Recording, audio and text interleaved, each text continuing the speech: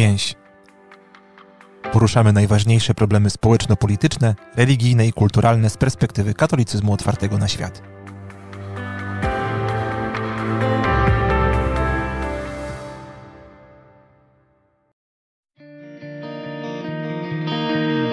Nie da się napisać przewodnika po krainie, której nie znamy. A Ciemna Noc Kościoła, czyli zbiorowe doświadczenie duchowego zagubienia, to dla polskich katolików przeżycie nieznane. Dlatego ten podcast może być co najwyżej półprzewodnikiem po nocy ciemnej. Będę tu poszukiwał drogowskazów i punktów orientacyjnych na długą wędrówkę. Nie obiecuję, że od razu będzie dużo jaśniej, ale ktoś bardzo mądry powiedział kiedyś: Szukajcie, a znajdziecie. Obiecuję więc, że będziemy szukali. Zbigniew Nosowski. Dzisiaj gościem półprzewodnika po nocy ciemnej jest człowiek, który musiał zostać tu zaproszony ze względu na swoją życiową historię. Ksiądz Adam Świeżyński.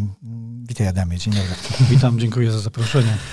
E, dla tych, którzy może nie pamiętają, duchowny archidiecezji gdańskiej, doktor habilitowany nauk humanistycznych w zakresie filozofii, profesor Uniwersytetu Kardynała Stefana Wyszyńskiego, członek Komitetu Nauk Filozoficznych Polskiej Akademii Nauk, był dziekanem Wydziału Filozofii Chrześcijańskiej UKSW, specjalizuje się w filozofii przyrody, ale nie o filozofii przyrody będziemy rozmawiać. Będziemy rozmawiać o, o trudnym byciu e, w kościele, bo ksiądz Adam Świeżyński jako duchowny archidiecezji gdańskiej mm, znany jest też z tego, że długo był jedynym księdzem gdańskim, który pod nazwiskiem mówił o mobbingu i skandalicznych zachowaniach mm, ówczesnego metropolita arcybiskupa Sławoja Leszka Głudzia E, wobec, zwłaszcza wobec e, księży e, duchownych podwładnych mu. No i właśnie o tym będziemy rozmawiali, chociaż może też wolę raczej nie o tym, bo, bo o samej faktografii to, już była mowa nieraz, tak? I także na łamach więzi o tym rozmawialiśmy. Tutaj w tym półprzewodniku po nocy ciemnej chciałem cię prosić, Adamie, nie tyle o streszczanie twoich zmagań, E, e, o Kościół, ale e, raczej o refleksję o tym, jak, jak ta sytuacja wpłynęła na Twoją wiarę, na Twoje kapłaństwo, bo, bo na pewno nie było łatwo. No, nie było łatwo, to prawda. Nie było łatwo. Taki moment chyba najtrudniejszy, bo może od tego warto zacząć. To chyba wtedy, kiedy kiedy sobie uświadomiłem, oczywiście na podstawie tego, co się działo, tego, co doświadczałem, reakcji, wypowiedzi mojego środowiska, że jako duchowny tej diecezji jestem tej diecezji absolutnie niepotrzebny.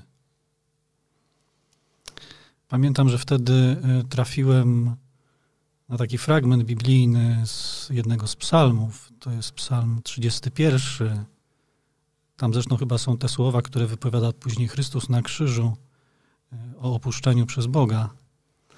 Ale w tym samym psalmie są takie słowa: Zapomnieli o mnie w sercach jako zmarłym, stałem się jak wyrzucone naczynie.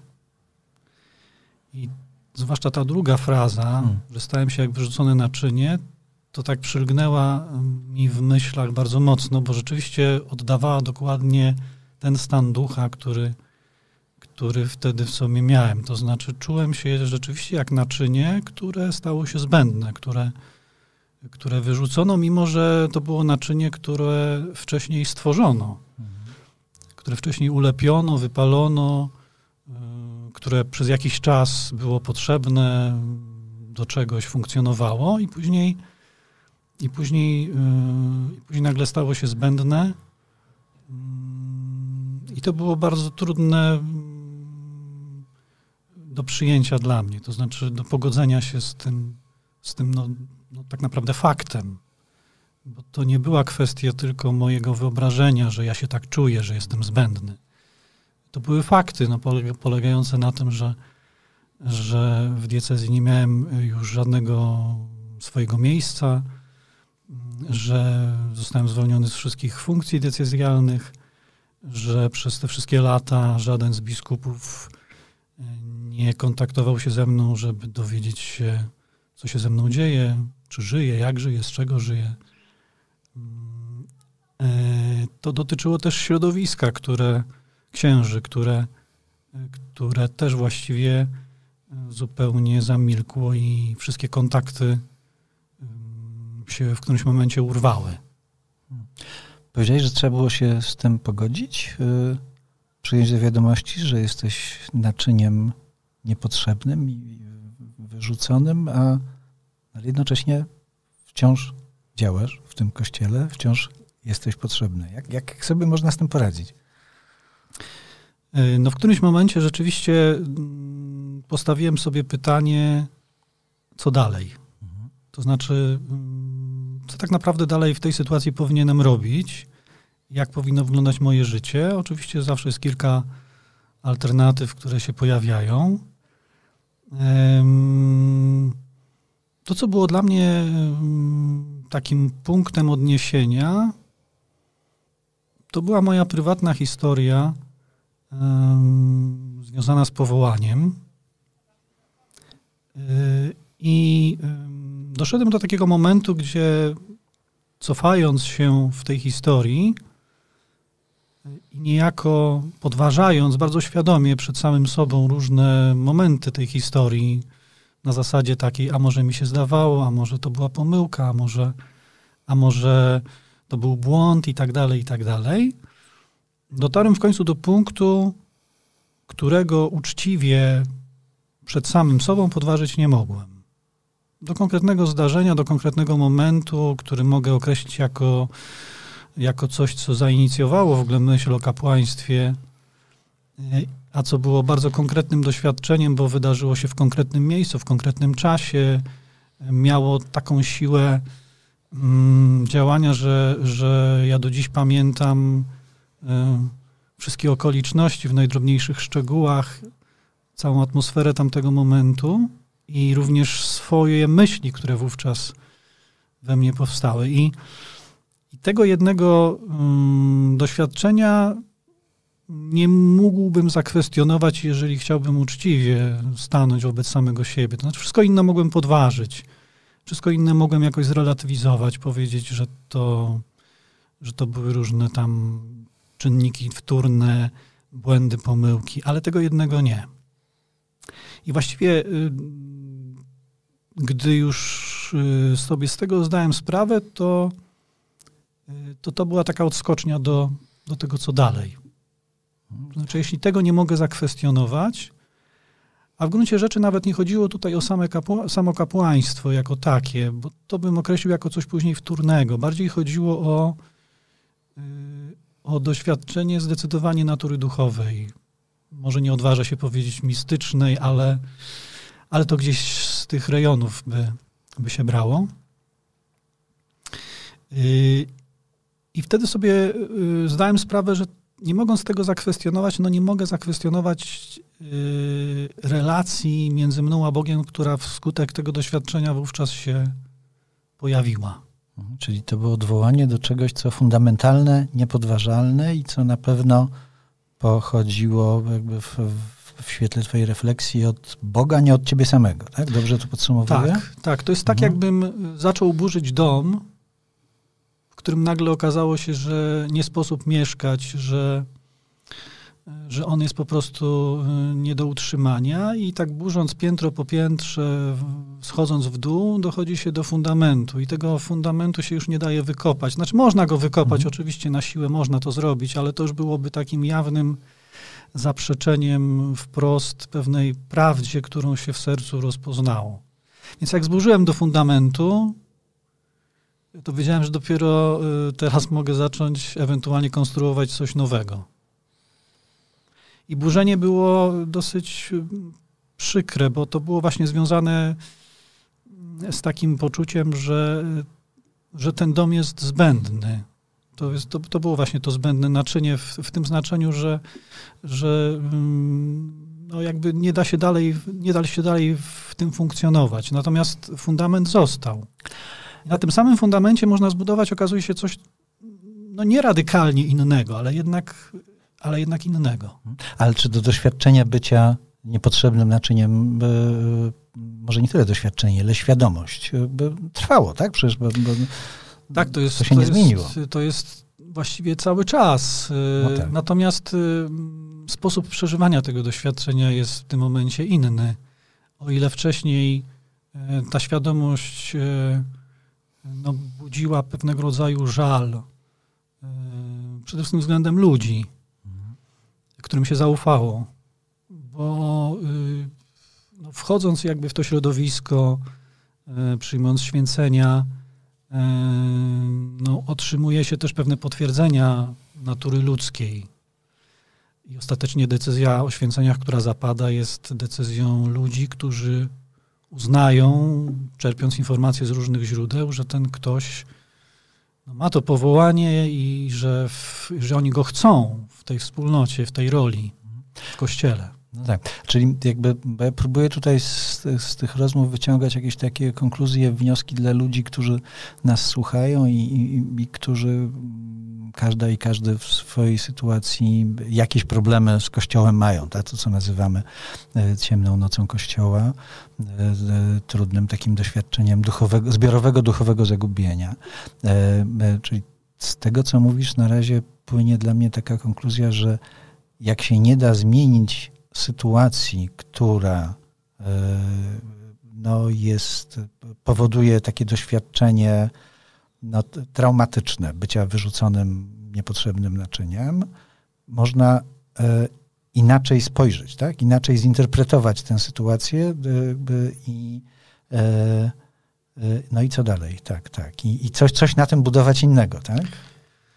Tak, pojawia się e, jakiś inny scenariusz, to znaczy ja w którymś momencie stawiając sobie to pytanie, jednocześnie burząc to, co do tej pory było, dochodząc do tego fundamentu i zastanawiając się, co dalej w takim razie mogę zbudować, e, no, doszedłem do pewnej odpowiedzi, która jest odpowiedzią dla mnie, tak? I myślę, że ktoś, kto dochodzi do tej odpowiedzi, no to zawsze będzie to jakaś odpowiedź inna. Natomiast ta odpowiedź dała mi e, pewną perspektywę, to znaczy w ostatecznym rozrachunku um,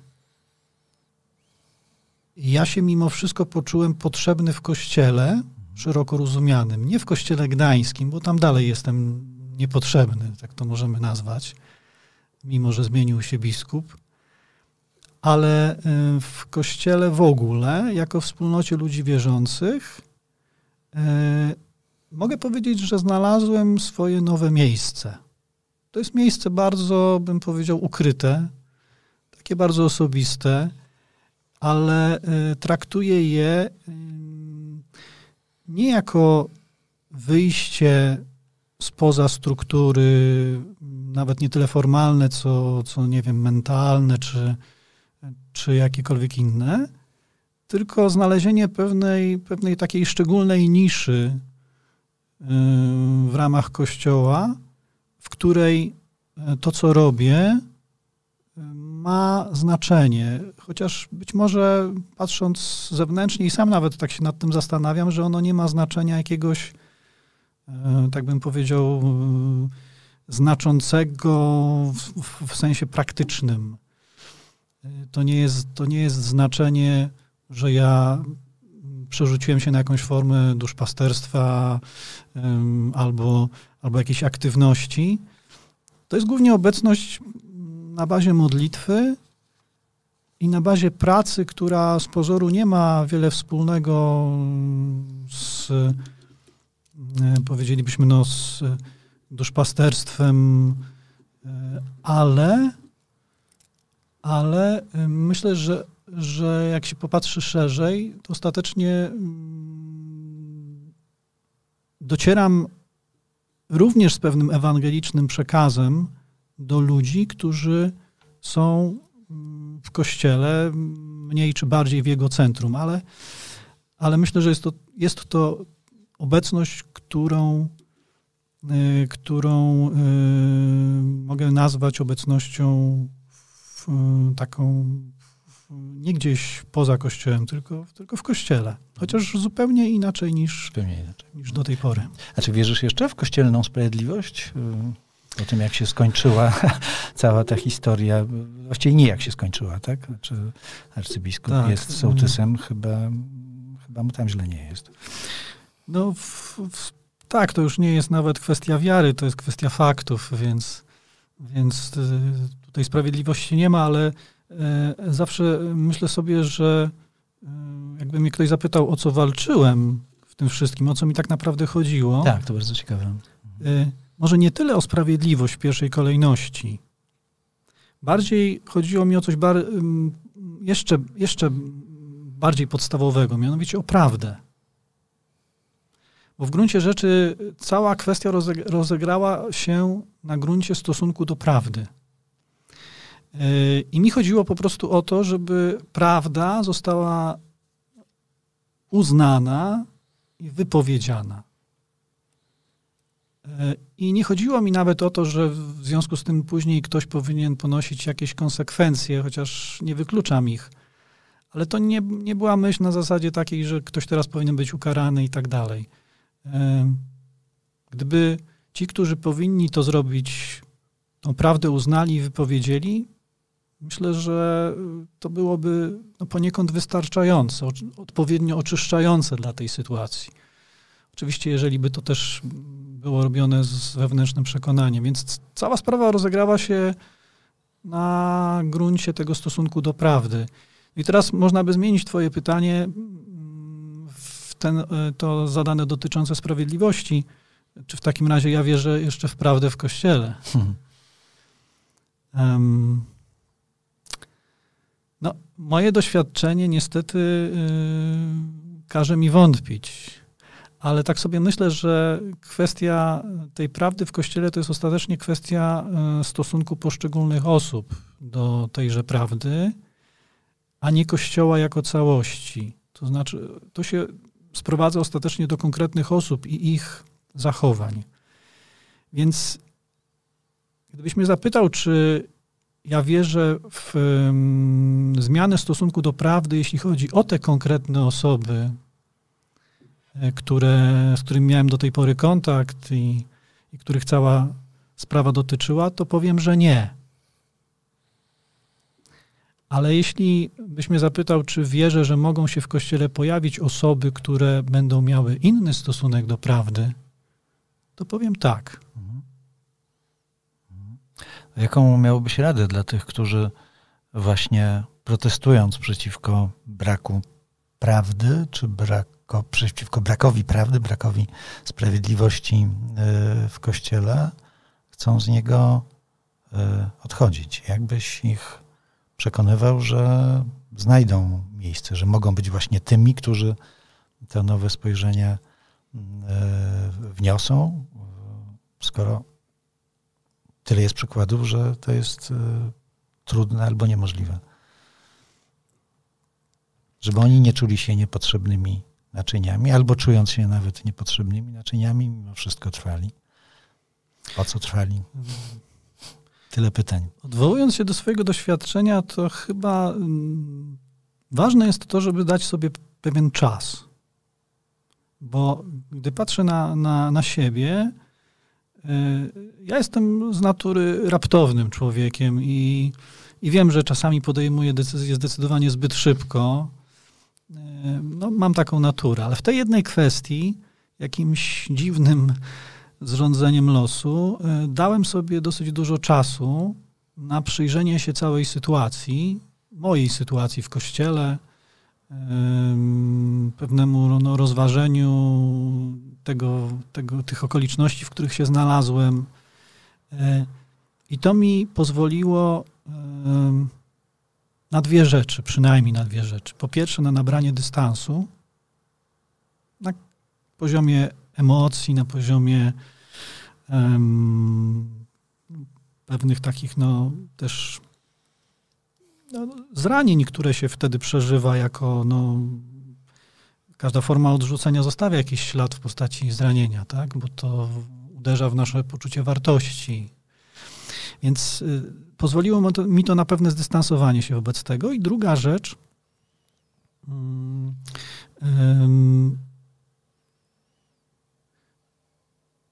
dotarcie do takiego punktu, który, który dla mnie, jak powiedziałem, był nieobalalny, a który o tyle ma z Kościołem wiele wspólnego, że to moje doświadczenie, które zaważyło mojej życiowej drodze, dokonało się w Kościele. E, co więcej, ono dokonało się w, e, w doświadczeniu liturgii Kościoła. E, czegoś, co jest dla mnie w ogóle pewnym kluczowym elementem, jeśli chodzi o Kościół. To znaczy, mam na myśli liturgię, życie duchowe, modlitwę. Szczyty źródła, jak się Tak. mówi. I dlatego w tym momencie jakby udało mi się wyodrębnić e, pewne kościelne warstwy. E, to znaczy tą warstwę moich ludzkich doświadczeń z ludźmi Kościoła, e, negatywnych doświadczeń i, i to centrum, które stało się dla mnie punktem odniesienia, a które też dokonało się oczywiście w obecności i przy udziale ludzi, ale w którym y, kluczową rzeczą było, no nie, nie, nie zawaham się to nazwać w ten sposób, y, doświadczenie Boga. Y, więc myślę, że to danie sobie czasu było kluczowe, bo jakąkolwiek decyzję można było podjąć bardzo szybko, a byłem w takiej sytuacji, że pewnie e, wiele temu sprzyjało i, i no tak, mieszkałeś poza diecezją, filozofią tak, przyrody można się zajmować, nie będąc tak, księdzem. Tak, a dokładnie do tego dochodzi tak, element tak. emocjonalny i tak dalej. Czyli ja nie, nie byłem w takiej sytuacji, że na przykład odejście w sensie nawet formalnym znacząco utrudniłoby mi egzystencję, życie, nie miałbym z czego żyć i tak dalej. To jakby, jakby te elementy nie grały tutaj, nie grały tutaj roli. A z Bogiem spierałeś się? Właśnie z Bogiem się nie spierałem. Hmm. Z Bogiem się nie spierałem, bo y, właściwie dla mnie było od początku oczywiste, że jakiekolwiek obwinianie Boga, jakiekolwiek pretensje względem Boga, żale y, są zło, źle adresowane. Znaczy, ewidentnie w całej tej sytuacji mogłem mieć pretensje do poszczególnych ludzi, do osób, które zachowały się w określony sposób. Którzy na jego wolę się powołali zresztą. Tak, oczywiście, ale, ale ym, sam Pan Bóg był dla mnie, że tak powiem, poza y, listą obwinionych. I to jakby nie miałem z tym zupełnie, y, zupełnie problemu, nawet wtedy, gdy przychodziła taka myśl, y, że no ale właśnie, no przecież ostatecznie Pan Bóg stoi za powołaniem, Pan Bóg stoi za, to, za tym, że to było w tym, a nie w innym miejscu, w tej, a nie innej diecezji i tak dalej. Więc, więc dlaczego, dlaczego no ostatecznie, nazwijmy to, przynajmniej pozwala, żeby, żeby sprawy się w ten sposób toczyły? Nie, to, to, to nie był dla mnie problem. Wręcz przeciwnie, nawet bym powiedział. To znaczy, e, właściwie to stałe odniesienie do Boga w tej sytuacji było jedynym punktem odniesienia, takim, takim trwałym, gdzie, gdzie wszystkie inne jakieś ludzkie, nazwijmy to, czy inne czynniki no, mogły, mogły i faktycznie w jakimś stopniu zostały podważone. E, natomiast e, ta relacja w stosunku do Boga nie, nie, nie, nie była w ogóle problematyczna w tym znaczeniu. To był taki punkt orientacyjny, że przywołam poję, pojęcie z, z, rozmowy z Agnieszką Zakrzewską, która była pierwszą tak. rozmową w tym cyklu.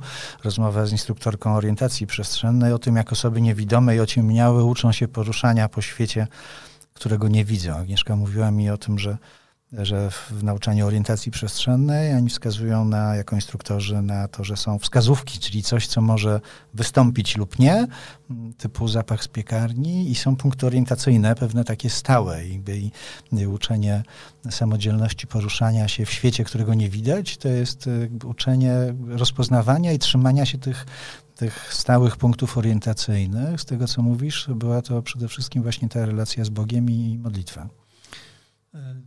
Tak, zdecydowanie. I powiedziałbym, no, takie jest moje doświadczenie, że kto wie, czy ta relacja z Bogiem mogłaby uzyskać no, tego rodzaju głębie, gdybym się nie znalazł w tej sytuacji, w której się znalazłem.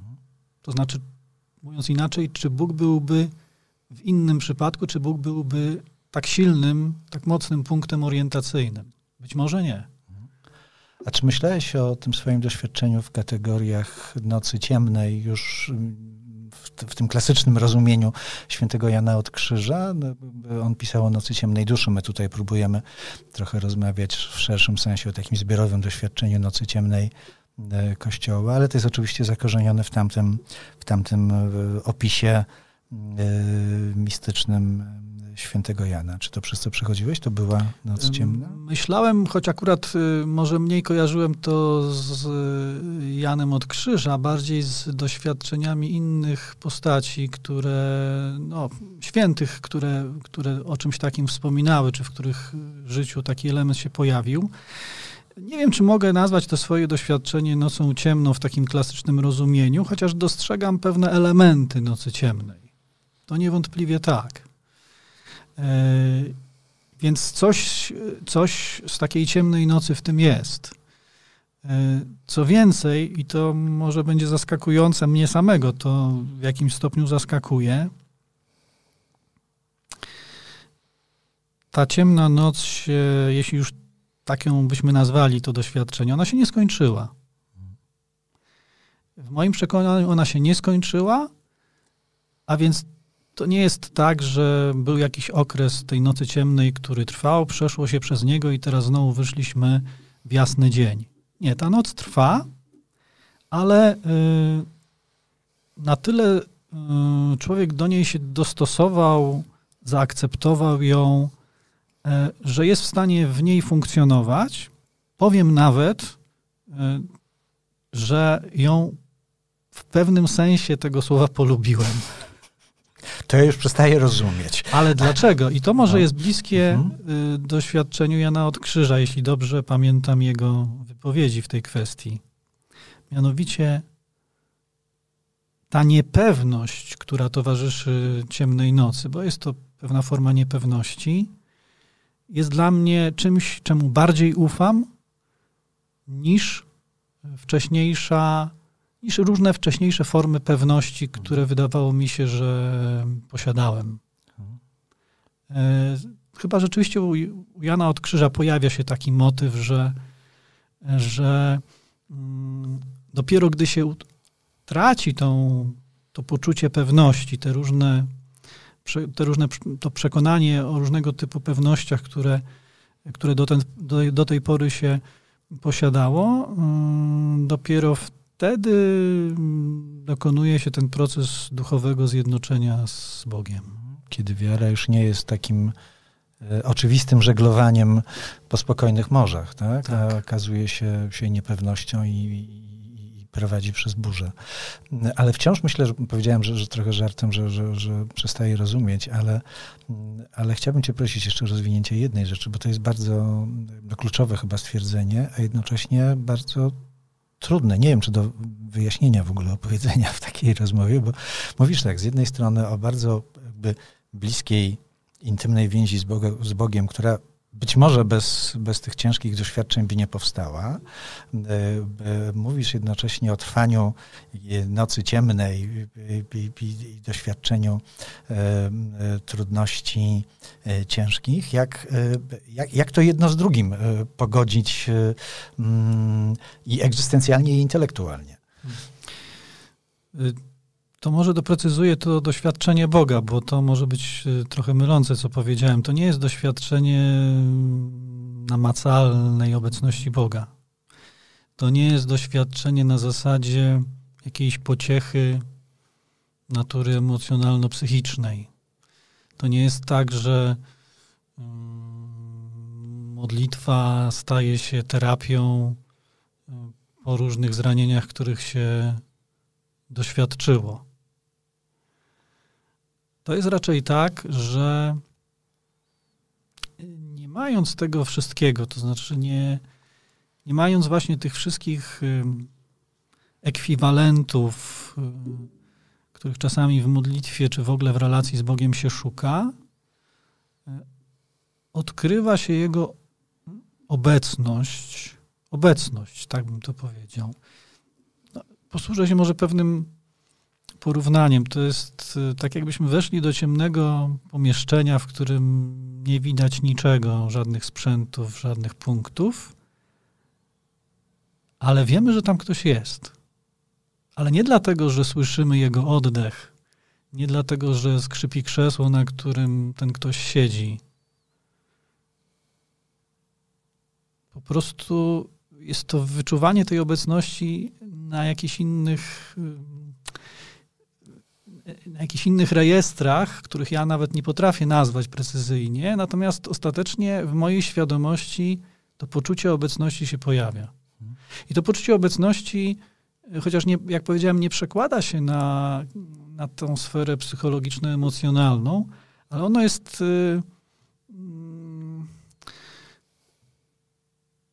w mojej świadomości ono jest czymś bardzo realnym, i czymś bardzo podtrzymującym. Próbuję to sobie znowu krótko nazwać.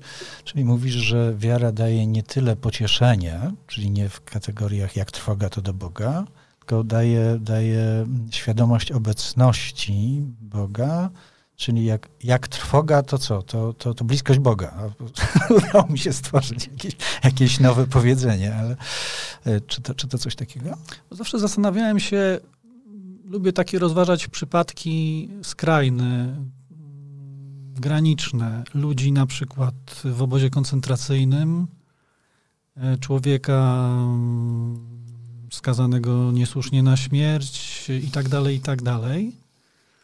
E, jak ci, jak ci ludzie byli w stanie przetrwać tego typu doświadczenia. Oczywiście, no pewnie gdybyśmy z nimi rozmawiali, no to oni wskażą różne tam elementy bardzo konkretne, czasami jakaś ludzka pomoc i tak dalej, i tak dalej.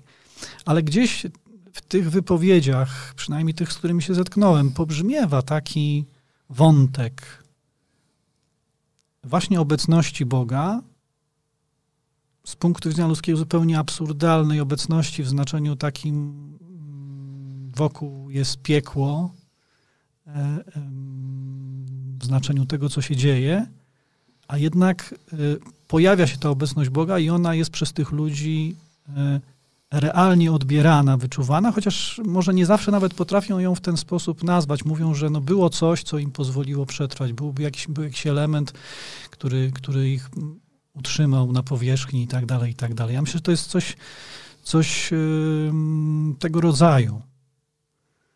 Niektórzy nazwą to Bogiem, niektórzy może tego nie nazwą w ten sposób. Bo ja myślę, że to dotyczy niekoniecznie ludzi e, wierzących czy ludzi będących w kościele. To jest coś absolutnie ponad tymi kategoriami. Tak, duchowość to dużo więcej niż kościelność. E, ale właśnie tego typu obecność i, i, i sama ta obecność jakby poza poza naszym, poza naszą aktywnością, poza tym, co my robimy, staje się skuteczna w podtrzymaniu nas w tej sytuacji. To może teraz jeszcze y, powiem o jednej rzeczy, bo wiadomo, że w tej drodze w, z Bogiem na pewno ważni są też bliźni. Tak? Mogą, mogą pomóc lub e, przeszkodzić. E, i, był też taki moment w naszej, nasz, nas dwóch relacji, że ja osobiście by, by dołożyłem ci jeszcze cierpień. E, że dokrzywdziłem cię, tak, tak, tak muszę, muszę powiedzieć. Uśmiecham się teraz, bo możemy o tym rozmawiać spokojnie, bo, bo przeprosiłem cię potem po pewnym czasie, mm, ale teraz chciałbym przeprosić ponownie, tym razem publicznie, bo rzecz dotyczyła pewnego aktu, który miał być publiczny, a nie stał się publiczny. Już wyjaśniam o co chodzi. E, to było tak, że Adam Świeżyński kilka ładnych lat już temu e, zaproponował nam do Więzi taki tekst e, krytycznie oceniający jakby podstawy takiego wspólnego przesłania kościołów Polski i Rosji, który jakby przejdźmy do publikacji, a później zbierałem jeszcze inne głosy na ten temat. No i I ostatecznie tekst e, podjąłem e, najbardziej świńską decyzję w, w swoim życiu redaktora. E, największe świństwo, jakie popełniłem. Postanowiłem, że ten tekst się nie ukaże, dlatego że uległem szantażowi innego autora, bo próbowałem tych autorów nawzajem zachęcić, żeby brali pod uwagę swoje perspektywy. No inny z autorów powiedział, że jak się ukaże to, co napisał Świeżyński, to on wycofuje swój tekst. E, powstałaby straszna luka. No, i tak zdecydowałem, strasznie było mi z tym źle. To było takie klasyczne dokrzywdzanie człowieka i tak już przez kościół sykowanego e, i to jeszcze uzasadniane no, tak zwanym wyższym dobrem, nie? jak to się w kościele mówi, że, bo właśnie jakieś dobro redakcyjne tego wymagało, żeby uniknąć większej awantury z tamtym człowiekiem, to dokrzywdziłem ciebie. Przepraszam raz jeszcze. Bardzo dziękuję, ale myślę, że ja dzisiaj patrzę na to inaczej już oczywiście. To znaczy, patrzę na to trochę w tym kluczu, o którym mówiłem wcześniej. To znaczy, dopóki jeszcze człowiek sobie buduje świadomie bardziej lub mniej jakąś pewność, taką chociażby ludzką, w znaczeniu jest ktoś, kto mnie rozumie, kto podziela moje poglądy i kto jakby stoi za mną i tak dalej, i mogę e, liczyć na jego wsparcie, e, no to zawsze jeszcze nie dociera się do tego fundamentu. Ja to tak odbieram, że to był jeden z takich elementów i czy on był potrzebny? No w jakiś sposób mogę powiedzieć, że był potrzebny, tak?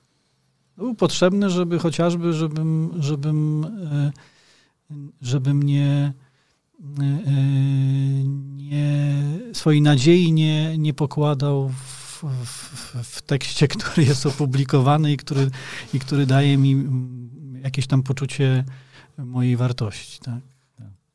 No nie, dziękuję, że tak mówisz, ale oczywiście to nie było potrzebne zdecydowanie z mojej strony, ale jeśli można z tego wyciągnąć jakiś wniosek dobry, proszę Państwa, to taki, że e, że ja zrobiłem Adamowi Świeżyńskiemu wielkie świństwo swego czasu, po czym on przyjął moje przeprosiny i, i, współpracujemy. Tak?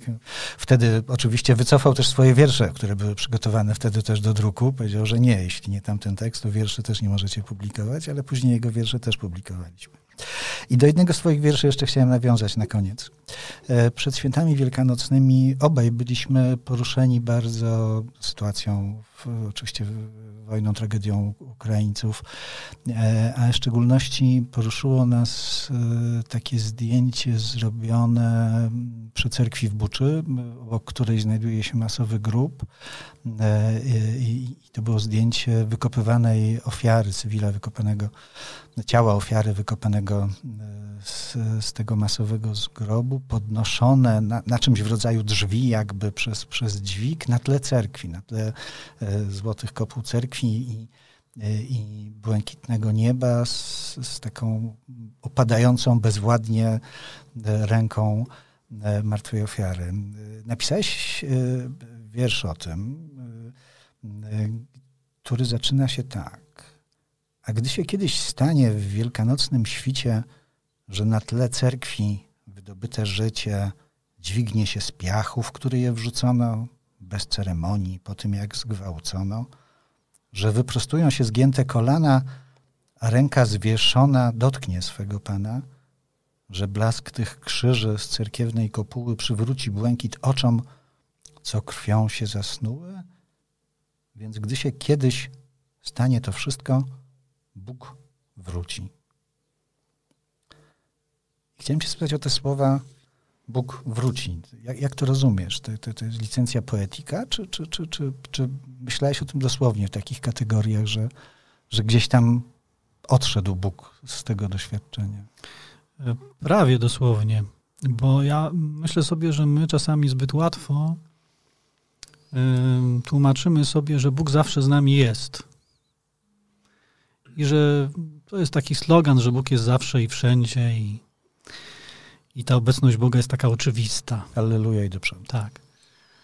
No ale mm, odwołam się do fragmentu biblijnego, czy ojciec był synem marnotrawnym, gdy syn marnotrawny odszedł do ojca?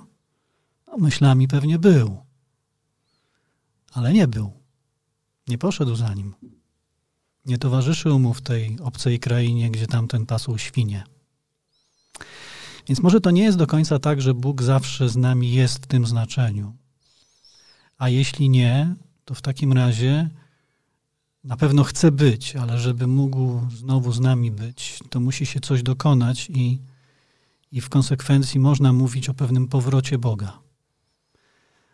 E, dla tych ofiar ten powrót no to jest zmartwychwstanie. A dla tych, którzy te ofiary wykopują, którzy są ich bliskimi, którzy są ludźmi, którzy przeżywają dramat tych śmierci, no dla tych Bóg, dla tych ludzi z ich perspektywy Bóg też musi wrócić. Pytanie jak, pytanie kiedy, w jakich okolicznościach. Znowu przychodzi mi na myśl fragment biblijny, zresztą bardzo istotny dla mnie, do którego często wracam, również w perspektywie swoich doświadczeń, o których mówiliśmy. To jest ta scena e, wyruszenia uczniów z Jerozolimy do Emaus w wieczór Dnia Zmartwychwstania. E, powiedziałbym tak, to jest dla mnie taki obraz ludzi, którzy odchodzą z kościoła bo oni odchodzą od grona apostołów. Od tego Piotra, który się zaparł, od tego Judasza, który zdradził, od całej reszty, która gdzieś się pochowała, tak? Odchodzą rozczarowani. Oni tak, mają tak. dosyć bycia z tymi ludźmi, którzy ich zawiedli w ich rozumieniu i, i którzy nie stanęli na wysokości zadania, mimo że byli przez Chrystusa powołani i że Chrystus roztaczał wobec nich pewną perspektywę. E, a oczywiście w tym wszystkim jeszcze jest brak samego Chrystusa, bo jest przecież z ich perspektywy jeszcze w grobie. E, I teraz zaczyna się droga, nocna droga znowu, bo to jest noc przecież, gdy oni idą z Jerozolimy do, do Emaus, w sensie pod wieczór. I nagle następuje to dołączenie się obecności Chrystusa zmartwychwstałego, później jego rozpoznanie. Więc o tego typu powrocie Boga myślę w tym momencie. Oni się zachowali bardzo autentycznie.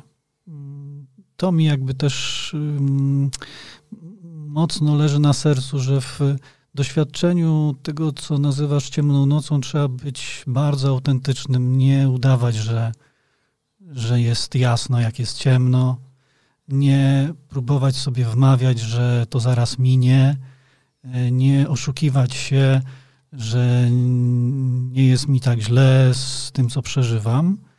E, trzeba sobie pozwolić na te wszystkie reakcje, właśnie związane z tym doświadczeniem rozczarowania, zawiedzenia, o których mówią ci uczniowie. I oni sobie na to pozwolili. Oni, oni to wyrazili nie tylko słowami, ale również swoją postawą wobec tych, którzy ich rozczarowali, którzy ich zawiedli.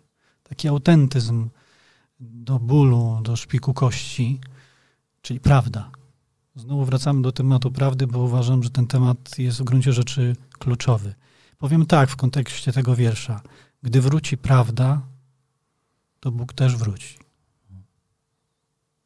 To może ja podsumuję w takim razie całą tę rozmowę mm, o doświadczeniu Bożej bliskości, nawet e, w opuszczeniu.